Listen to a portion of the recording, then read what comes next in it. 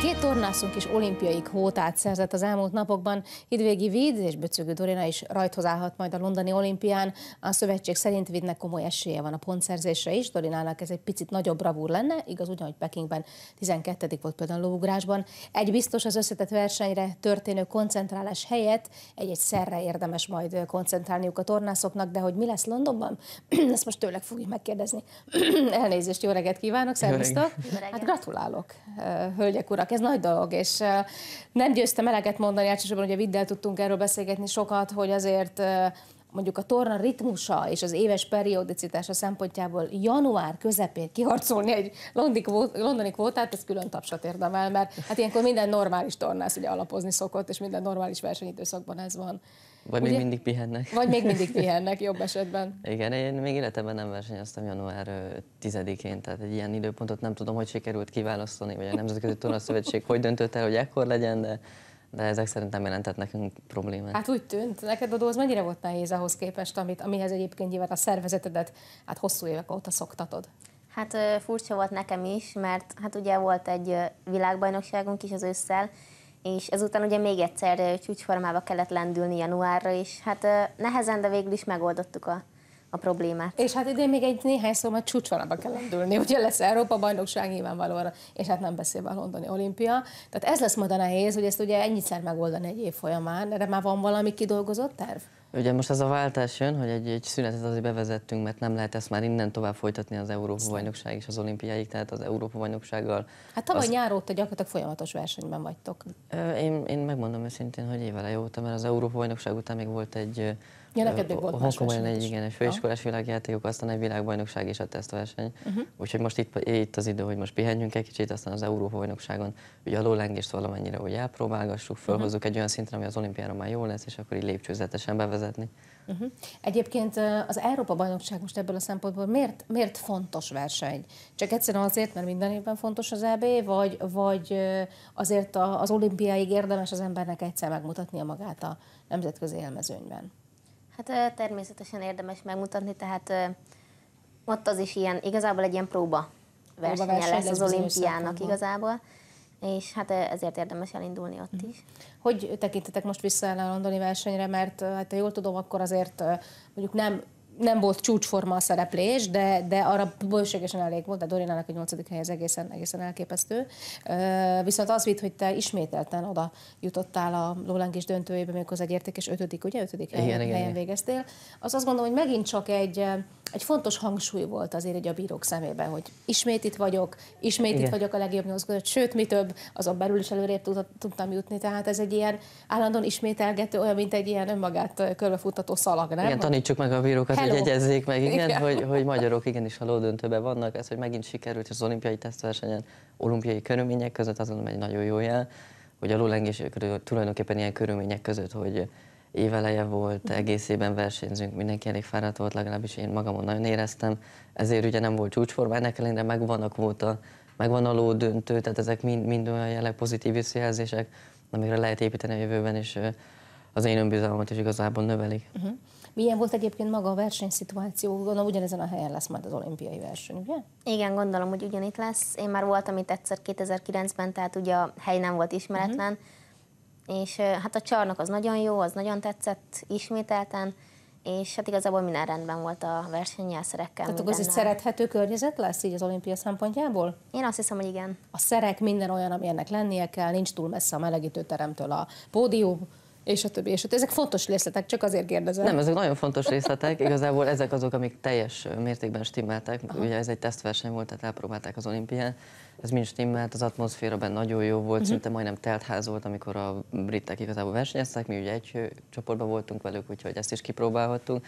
Ezen kívül voltak dolgok, amik nem stimmeltek, de az, hogy a melegítőterem, közel legyen, olyanok legyenek a szerek, ez így, ez így mind nagyon rendben mhm. volt. Picit térjünk át a szakmának arra részére, amit dr. Magyar Zoltán elnök úr is emlegetett itt a napokban, és, és tulajdonképpen lehet, hogy, hogy abból a szempontból valóban igaza van, hogy át kell állítani az embernek a fejét abból a szempontból, hogy mi fontos, mi értékes. Ugye mind a ketten torna szakma szempontjából két kiváló összetett tornász vagytok. Én azt gondolom, hogy visszaemlékezem még a tornász évekre, ezt mi mindig nagyon nagyra tartottuk, és a szakma úgy gondolom még mindig most is ebből a szempontból így vélekedik. De Magyar Zoltán is azt mondja, hogy ha megnézzük ugye te lótudásodat, megnézzük azt, hogy gyakorlatilag egy bronzérem től fosztottak meg a tavalyi Tokiói világbajnokságon, bár ezt már sokszor tisztáztuk, de azért ez mégiscsak tény. Dorina, neked az ugrás az, az kifejezetten erős szered, és ugye azért egy bokasérülés követően nem mindegy, hogy az embernek hányszeren és milyen módon kell az izületeit terhelnie. Tehát ő arra ö, próbált rámutatni, hogy rá kellene menni a hátra lévő fél évben kifejezetten erre a kétszerre. Neked nyilván az ugrásra, hát neked alul nem is kérdés akár annak az állán is érthette ezt az elnök úr, hogy, hogy veszni hagyni az összetettbéli szereplést, hogy ezért mind a ketten arra koncentráltok, hogy ott a hat, itt a négyszer jó legyen. Szerintem arra gondolt az elnök úr, igen, hogy hagyjuk akkor ebben az évben az összetetnek a kiemelését vagy a folytatását a versenyzések terén.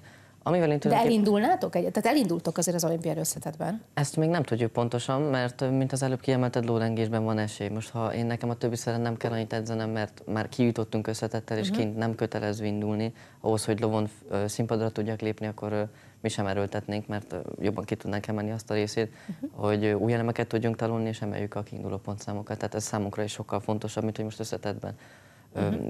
azt próbáljuk ugyanilyen erővel fölemelni a kiinduló pontjait a többi szereknek. Aha. Úgyhogy most mi is átrakjuk a fókuszt inkább a lólengésre. És akkor lehet, hogy el is marad a másik öt, vagy legalábbis mondjuk... Nem akkor... marad el, mert ott meg az a rész következik, hogy új elemeket tanulunk, és akkor a monotonitást igazából Csak nem gyakorlatokra készülsz Csak nem gyakorlatok, igen. Tehát én továbbra is dolgozom a hadszeren, csak nem versenyzem. Világos. Tudó, neked ez mennyire lenne új érzés, hogy mondjuk inkább csak egyszerre koncentrálsz? És az az ugrás lenne egyébként?